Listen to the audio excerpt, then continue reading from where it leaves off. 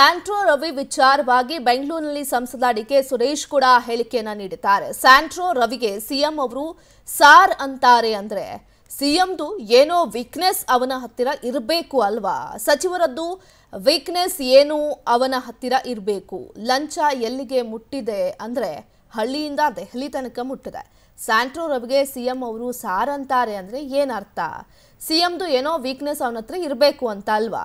ಅಥವಾ ಸಚಿವರದ್ದು ವೀಕ್ನೆಸ್ ಏನೋ ಅವನ ಹತ್ರ ಇರಬೇಕು ಅಂತ? ಬಹುಶಃ ಯಾರದ್ದು ವೈಯಕ್ತಿಕ ಕಾರಣಕ್ಕೋ ಏನೋ ಸಿಎಂ ಹೇಳಿದ ಪ್ರಕಾರ ಸೋಮಶೇಖರ್ ಸ್ಯಾಂಟ್ರೋ ರವಿ ಹತ್ರ ವ್ಯವಹಾರ ಮಾಡಬಹುದು.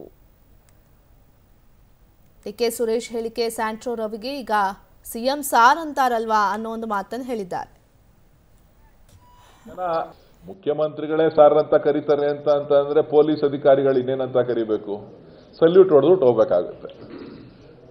ಪೊಲೀಸರ ಏನು ರೌಡಿ ಶೀಟ್ರಾಗಿ ಪೊಲೀಸರ ಅತಿಥಿಯಾಗಿರ್ಬೇಕಾದಂಥವರು, ಇವತ್ತು ಮುಖ್ಯಮಂತ್ರಿಗಳು ಸಾರ್ ಅಂತ ಕರೀತಾರೆ ಅಂತ ಅಂದ್ರೆ ಅವರು ಎಷ್ಟು ಪ್ರಭಾವ ಇಟ್ಕೊಂಡಿದ್ದಾರೆ, ಅವ್ರ ವೀಕ್ನೆಸ್ ಮುಖ್ಯಮಂತ್ರಿಗಳ ವೀಕ್ನೆಸ್ ಎಷ್ಟು, ಮಂತ್ರಿಗಳ ವೀಕ್ನೆಸ್ ಎಷ್ಟು ಅಂತಕ್ಕಂಥದ್ದು ಎದ್ದು ಕಾಣ್ತದೆ.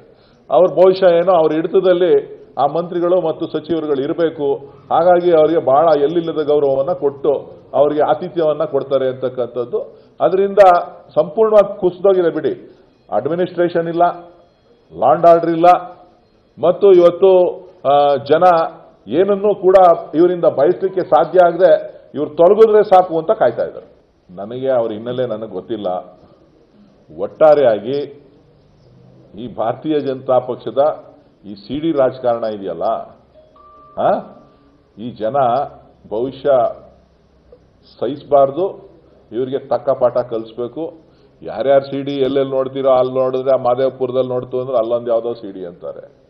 ಅಲ್ಲೆಲ್ಲೋ ಆ ಶಿವಮೊಗ್ಗದ ಹತ್ರ ಅಲ್ಲೆಲ್ಲೋ ಹೋಯ್ತು ಅಂದ್ರೆ ಅಲ್ಲಿ ಯಾವುದೋ ಒಂದು ಸಿ ಡಿ ಅಂತಾರೆ ಅಲ್ಲ್ಯಾವುದೋ ಇನ್ನೊಂದು ಆ ಕಡೆ ಹೋಯ್ತು ಅಂತ ಅಂದ್ರೆ ಅಲ್ಲೊಂದು ಏನೋ ಅಂತಾರೆ.